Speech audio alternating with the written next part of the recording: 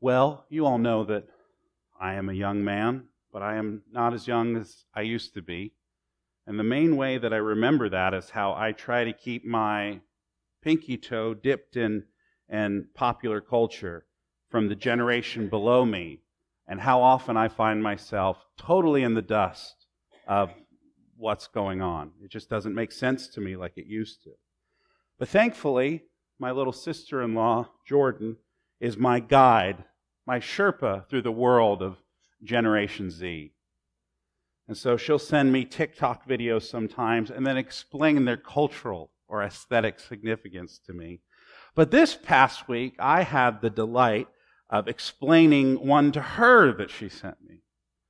She asked me if it was if it was true. It was a video of a, a, graph of the 66 books of the Bible on a timeline, and it showed thin colored lines connecting different references in the Bible, forming this overarching uh, uh, big bow almost.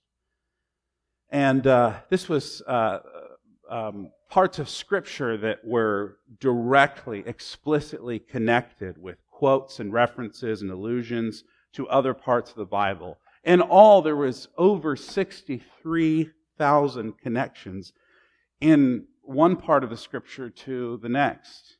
And so, as the presenter comments and, and talking about this, if this were the work of any other author, we would call them a literary genius. And this would be a dramatic masterpiece. But the fact is that this is a work authored by over 40 people in three different languages, on three different contents, under the empires of scores of different nations, uh, written over a dozen centuries. And that is absolutely miraculous that it has the coherence that it does. And here this morning, we find ourselves dead center in one of those explicit connections. We're in Hannah's song of praise, her very own Magnificat. It's a hymn to God's glory and grace that not only resounds throughout the rest of the scriptures we find, but it resounds throughout eternity. Now, last week we kicked off our time together in 1 Samuel uh, as a book that begins in a period not too unlike our own in some ways. It is a time of great social and spiritual chaos for the people of God. There is no unified front. There is no overarching leader. There are judges, but no real pastors in some sense. There's religion, but there's not much faith. And in the middle of the chaos of their everyday life, we're introduced to a married couple, really a polygamist uh, group, family.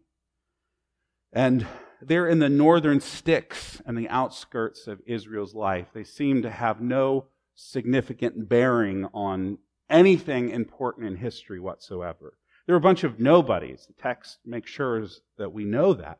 They don't have much going for them, and that is especially true for this one woman we meet named Hannah, the wife of Elkanah and the rival of, by the world's standards, a much more successful Peninnah, his other wife. But ironically, Hannah's name means grace, and that's where the story really gets kicked off. Nothing about her life feels gracious, however. Peninnah, her rival, the scriptures say, taunts her about her childlessness and therefore her kind of unstable situation. Elkanah tries but doesn't really understand her. And even her pastor, Eli, doesn't really seem to care by what problems beset this woman. But in the middle of her chaos and the chaos of Israel in general, in the middle of the lifelessness, in the middle of the wilderness, Hannah begs God for grace and finds that God pours it out in overwhelming favor to her. Hannah gets her boy. She gets her son. But surprise, surprise, Hannah is so devout, she gives him right back to the Lord to be his servant. And so at the end of last week's passage, we saw Hannah take a, an animal sacrifice and some bread and some wine to the tabernacle at Shiloh so that her son could be initiated into uh, uh, into uh, professional service of the Lord. And so the last verse of, of, of last week confirms for us that indeed Samuel stayed there and he worshiped the Lord. Now, in God's story, chaos always gives way to purpose. And hopelessness always gives way to joyful worship. And so today, that's exactly what this passage is all about, too. It's the worship of a good and loving God who uplifts the lowly. He is a great God who yet magnifies the nobodies and therefore magnifies his own greatness.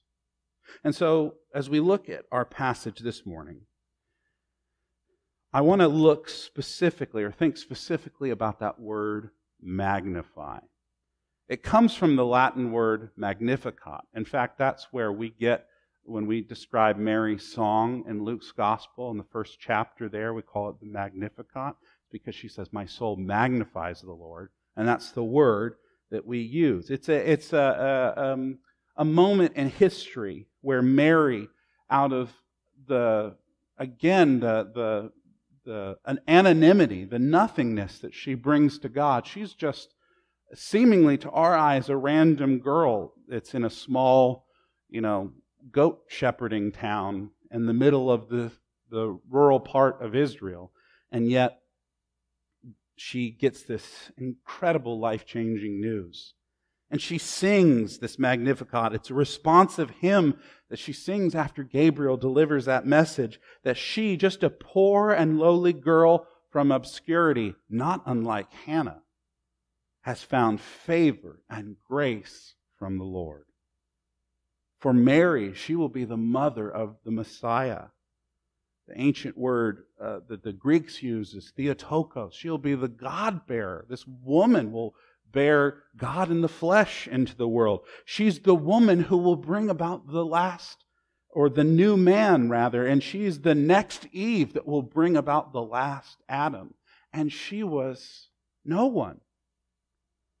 And Mary said, we read in that part of Scripture, My soul magnifies, magnificates the Lord, and my spirit rejoices in God my Savior, because he looked on me with favor. Same idea from Hannah. He looked on me with grace. On the humble condition of his servant. Surely now all generations will call me blessed because the mighty one has done great things for me the not mighty one, we might put in parenthetically. And his name is holy. She continues on, describing the character of the Lord. His mercy is from generation to generation, from Hannah to Mary, from Mary to Maranatha. On those who fear him, he has done a mighty deed with his arm. He scatters the proud because of the thoughts of their heart, and he topples the mighty from their thrones and exalts the lowly instead. He satisfied, or he satisfied the hungry with good things, but he sent the rich away empty. He has helped his servant Israel, remembering his mercy to Abraham and his descendants, we know both physical and spiritual forever, just as he spoke to our ancestors, and in this case, Hannah especially. Now, the passage that I just read to you from Luke's gospel sounds very similar to the passage that Sarah just read for us a few moments ago, doesn't it? And I don't think that's an accidental part of the story. Again, this is one of those intentional connections we find in Scripture. I think that Mary, reaching back into the history and the Holy Writ of Israel, finds the words to pray in response to God's goodness from people like Hannah, from the other saints of Israel. She remembers what God has done for them in the past, how they were lowly and yet have been exalted, and she knows that for herself, although she is lowly, God will exalt her in her obedience. And so praising and worshiping God pours forth for how he's always working out salvation for little ordinary people like us. We forget that these characters in the Bible that we elevate to the role of saints, that we know they have their flaws and peccadillos, but we look at them as if they're supernatural, as if they're aliens, if they're, as if they're not just regular people like you and I. The only reason we know about them is because God lifted them up, not because there's anything significant in their own history or pedigree or anything like that. And so if God does that for them, how will we not see that God is doing that for us as well? So let's look line by line at Hannah's hymn, this new mother's Magnificat. And I'm sorry, fathers. We're going to be talking about mothers this morning on Father's Day. Hannah's song we read is also a prayer. She begins praying it, and that teaches us, I think, that worship, singing joyfully, and supplication go hand in hand there is a thin line between praying and praising. And she sings and says in verse 1, she says, My heart rejoices in the Lord. Just like Mary started. My heart rejoices in the Lord. My horn is lifted up by the Lord. My mouth boasts over my enemies because I rejoice in your salvation. Remember, when we first met Hannah, she was one that was weeping bitterly. That's what, how we first saw her. But now she says her heart is lifted sky high, rejoicing in the Lord. And when we first met Hannah, she was socially weak. She didn't have any children. She didn't have any cultural leverage or anything. But now the Lord has lifted up her horn. The physical image that's being described there is a, is a bull after having gory, having gored its opponent lifting up its head in triumph and victory. Hannah, although lowly and, and simple, is like a mighty bull, powerful and virile. And Peninnah, her rival, her enemy, who once humiliated her, she now boasts over that rival, not because of anything Hannah's done or Hannah is, but because the Lord has chosen her to bring about his salvation for her and those that will be affected by her in the future. What an incredible exaltation of such a lowly person we get here. She truly is like Mary because Hannah is blessed and highly favored. And people will talk about her forever. Here she is, this historical woman now, at least, I, gosh, probably over 3,000 years old, and here we are still talking about this pauper from a country that nobody knew about. And she's like the sister of Moses, Miriam, who goes out of her, the, her period of enslavement, not literally in Hannah's case, but slavery to social expectations, slavery to to disappointment. She goes out liberated by the Lord, singing and rejoicing in the Lord's empowerment. This barren pauper, whom God made uh, into a goring bull, she is the mother of a judge and a prophet, and that is absolutely an astounding turnaround. But Hannah's life change, her success, and even her glory, we might say, is not found in herself. See, we hear this rhetoric in our day and age from every avenue. We all know this. It's, it's cliche, it's hackney, it's rote. But in our day and age, which is always looking for self empowerment, self fulfillment, self actualization, we look for our identity and meaning and, and, and worth and who we are and the biblical understanding of the value of human beings, the worth of human beings, is that they are image bearers and reflections of God's glory and grace. See, the reality is everybody in this room, everybody in this community, everybody in this state, this nation, this world is valuable. Everyone. But their value is tied to the fact that once they were nothing, and yet God has now made them his image bearer. They might be far from the Lord. They might be weak in the faith. They may be even openly rebellion and rebellion and enemies of God. But their value is in connection to God's making them in His image. And so while it is good that we're, we're kind and compassionate and uplifting and encouraging to people because they are beloved of the Lord, our value is never ultimately, finally derived just in ourselves, but in ourselves in relation to God. Now, here's the beauty of that is that if we are obedient and trusting in the Lord, we're worshiping Him and giving Him the glory. He glorifies and lifts us up in ways that we, if we spent all our lives cloying and clawing our way to the top, trying to be everything to all people, He lifts us up even further than we could possibly ever lift ourselves. That's the beauty of it. We see this model in Jesus, who, although he was God himself, didn't count that as a thing to be grasped or exploited, but gave it all away so that he might become a servant, even a servant unto the point of death on a cross. And yet, through his humiliation, that's how God turns it now into exaltation. It works the way, same way for his church.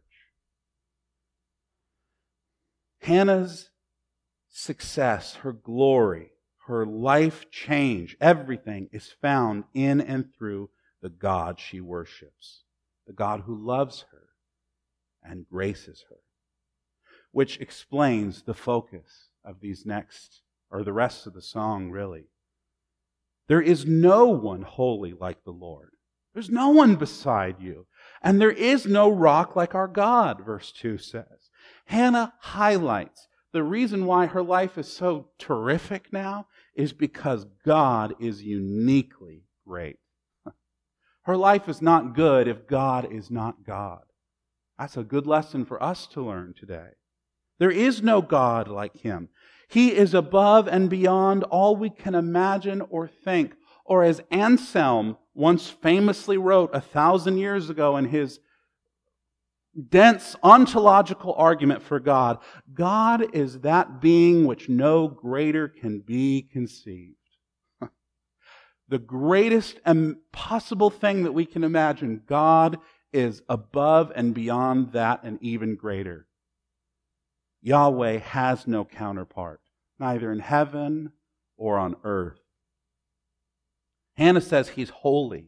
That means he's above all sin and evil that he's utterly unique in his character, but yet also, in the same breath, she says, he's the rock, which means he's the foundation upon which we're built. And he's also the shelter that keeps sin and evil and hell and death out of our lives in the first place. See, he's both holy and yet he's our protector as well. He's just and yet he's loving. Therefore, Hannah reminds us in verse 3 So don't boast so proudly or let arrogant words come out of your mouth, for the Lord is the God of all knowledge, and all actions are weighed by him. If the Lord is who Hannah claims he is, then none of us can speak pridefully or arrogantly about anything in our lives. Not our heritage, not our success, not our family, not our achievements, nothing. Yahweh is the God of all knowledge. He's the God of all action. Everything we say or think or do falls under His jurisdiction. There is no good thing in this world, nor is there an evil thing in this world that He will not ultimately sit in judgment over. All of our wonderful innovations and artistic achievements as the human race, He assesses simultaneously all of our inhuman abuses and selfish and greedy violences. Well, he weighs that out in the end, too. No one escapes either his mercy or his justice. Everybody answers to the Lord. So may we Christians who live in a national superpower and a time and place that feels like well, we don't have to answer to anybody because we're in the, the greatest country to ever live May we not lose sight of the fact that our prestige and our preeminence on the world stage, for good or for ill, will be held accountable by Him. We like to brag about who we are, but remember, verse 4 says, The bows of the warriors are broken, but the feeble are clothed with strength. You know, I think about this all the time in the context of some of the missionaries we support. I think of specifically this morning of the Rochelles. See, they're in a, a, place in Western Africa that most of us know nothing about. When's the last time you've heard of Bobo and Burkina Faso being mentioned on the news? The answer is never. Before the Rochelles, most of us didn't even know Burkina Faso was a country. And yet, there they are in West Africa, a very different part of the world, and men and women and children are coming to faith in Jesus Christ in droves. There are people that are being called into ministry. There are missionaries and pastors and preachers and prophets coming out of these people who have been baptized and now confess and celebrate the Lord both now and forever. They can hardly get a building, church building built over there before it's being filled up and they're having to build another one. And remember, none of us has ever heard of Burkina Faso before. And yet the Lord truly is clothing the feeble with strength. But look at our nation. Look at our society. We are a cultural and military powerhouse. Everything in this world has some connection and tethering to the United States. Our economy, our culture, our military, our science, everything is affected by this nation. But look how we have shrinking churches filled with spiritually lazy and even worse, mean as snakes, hypocrites. You know, I, am just, I, I'm going to step on some toes this morning. But if we're more interested in boycotting Target or Bud Light or Chick fil A than we are in coming to prayer meeting, then it's no wonder why he's breaking our bow here in the United States. If we're more interested in who we vote for than we are in praying for our enemies, it's no mystery why churches in America are emptying out. Because although we claim with our lips we believe and preach this gospel, our lives show a very different reality. And so Hannah puts it in verse 5 those who are full, what can Americans be described as? Is full. Goodness gracious. Every day we have to decide what not to eat not what to eat. We don't have to go, we don't have to go looking for food. We have to look for where we can fit all the food in our house. We eat until we're stuffed. And yet those people, in the end, Hannah says, will hire themselves out for food. They'll have nothing in the end. They'll do anything. They'll sell their bodies, their souls, just for a bite of bread. But those who are starving will hunger no more. The woman who is childless, that has no social advantage, will give birth to seven, a complete and full number. And by the way, we learn, we'll learn this next week. Hannah, who had Samuel, couldn't have a child, finally has Samuel, and then gives him away. The Lord gives her a bunch more kids, boys and girls, after that. But the woman with many sons pines away. See, the Lord is filling up the physical and spiritual needs of people all over the world, even this second. There are churches in West Africa and East Asia and, and Oceania and South America and, and little corners of Europe. There's places all over this world where the Lord is filling up his people. While many of us American Christians starve to death, spiritually speaking, because our whole diet consists of cable news and social media, and we never open the scriptures, and we never actually listen to the one or go to the one who can tell it to us straight and feed us what we need. And it's no wonder we're starving. Our churches, which once were thriving and bustling in this land, are shrinking and shriveling because we'd rather sweep the pastoral sex scandals and abuses we hear and the racial prejudices that we hear, we'd rather sweep that stuff under the rug than be biblical Christians who deny ourselves, repent, and serve one another, and in turn welcome all sinners. And so we'll become like this woman who pines away for all of our wayward children. Why, aren't our, why don't our children come to church? We drove them out of the church through our culture warring instead of drawing them in through our worship of the Lord. See, that's what just breaks my heart today more than anything. I see, I see, so many Christians just run their mouths about, well, did you see what this company did? Or I'm not giving them my money or doing this stuff, and, and acting as if any of that matters. And yet we won't come to church, we won't give, we won't volunteer, we won't serve, we won't sing, we won't pray, we won't worship the Lord, and we wonder why uh, this is all falling apart.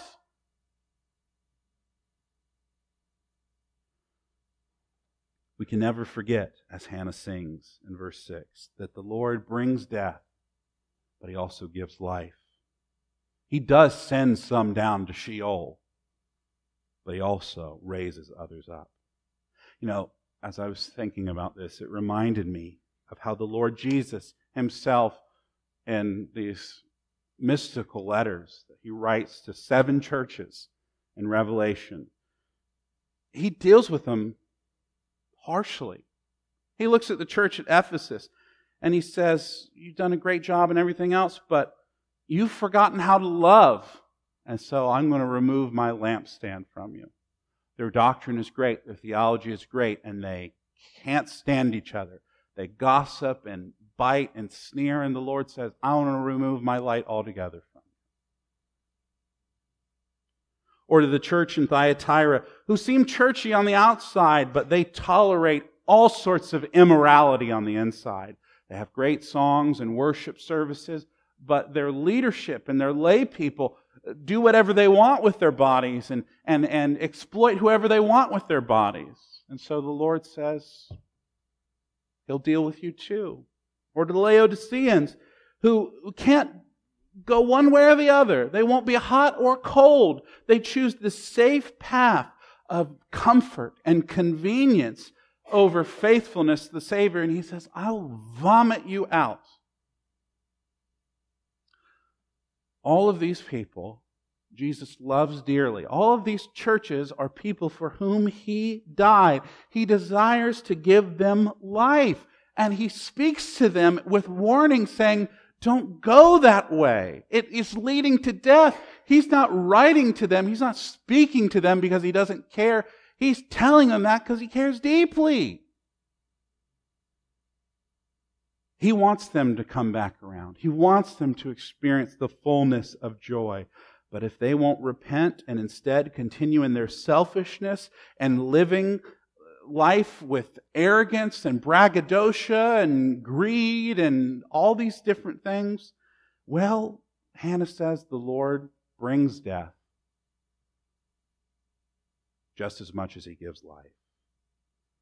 He'll send some down to the realm of the dead and while he'll raise others up out of it. The Lord can bring poverty to the rich, and he can give wealth away to the poor.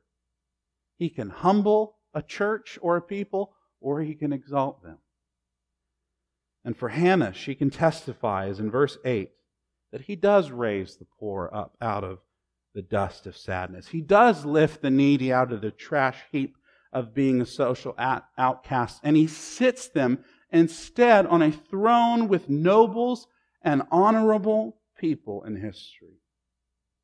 And he can do that because, she says, the foundation of the earth are the Lord's.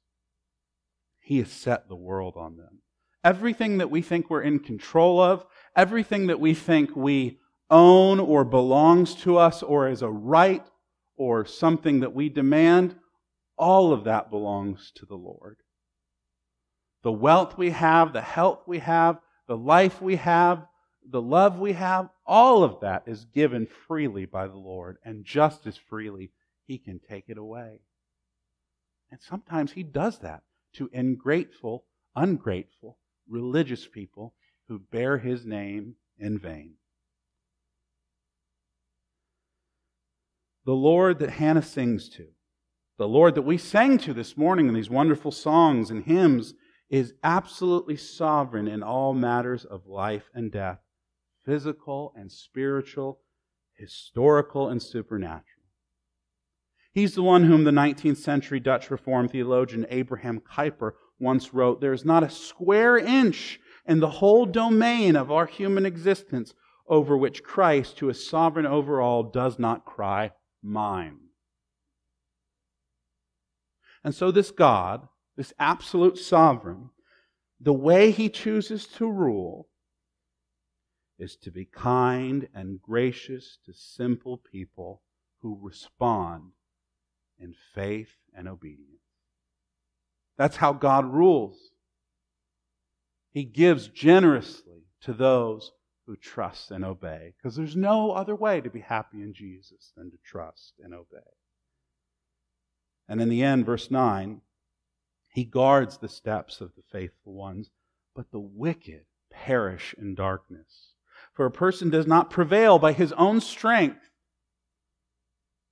And all of this leads to Hannah's final stanza, which is also a kind of prophetic foreshadowing. Remember, this is the day and age of judges. There is no king in Israel, and everyone does what is right in his own eyes. That's the era that we're living in. But in verse 10, she sees something coming on the horizon, something that she prophesies about but can't fully see. She says, Those who oppose the Lord will be shattered. He will thunder in the heavens against them. And this is where it especially gets interesting. But the Lord will judge the ends of the earth, and he will give power to his king. And he will lift up his horn of his anointed. Now, the rest of the book of Samuel will explore the ups and downs, the triumphs and transgressions on Israel's bumpy road to a monarchy. We'll learn that the Lord gives them a king even though he says they have rejected him as king. He'll give them a king.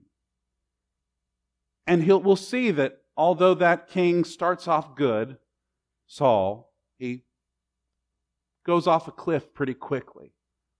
And then David comes along, and he seems like a great king, but in the end of his life, we see that he's pretty lousy in his own way. And even Solomon, the wisest man to ever live, arguably when the most when Israel was at its most scientifically advanced, uh, artistically uh, uh, meritorious, and its most militarily powerful, economically dominant, even Solomon, the wisest man who ever lived, loses his way in the end. But God does have a way of redeeming our sins and making them into something special. You know, when God plants humanity, He puts them in a garden. And by their own sin and neglect, they go, instead of a garden, build a city that's totally against God's design for how He wants to rule the earth. But isn't it amazing in the grace and providence of the Lord that when we get to the end of history, we see that God puts us not in just a garden, but a garden city. the thing that we use to rebel against Him, He redeems so it will be uh, continuing on forever and ever, but made right. The same is true with kings. We rebel against the rulership of the Lord. We want uh, our own human king. And how many kings and presidents and prime ministers and leaders do we have to go through in our history before we learn these people aren't going to save us? Not a single one of them can. And yet God still does give us a human king. And his name is Jesus. See, we'll trace out all the corrupt paths of the priest Eli, and we'll follow the righteous moments of the prophet Samuel. And we'll watch the fall of King Saul and in, the con- in conjunction with the rise of King David. And power will be given and power will be taken away. Anointing will be bestowed and its blessing will be revoked. But the point of all of it and the point of Hannah's song and Mary's Magnificat, Magnificat is the same to magnify the Lord. Folks, let me tell you, the Lord is most magnified, most glorified, most realized in the person and work and the rule and reign of King Jesus of Nazareth. The Son of God, and yet the Son of David, and even more obscure than that, the Son of Joseph the carpenter and Mary the maiden. He is the King of kings and Lord of lords, and He is the world's judge, and yet the scriptures show He's also our advocate.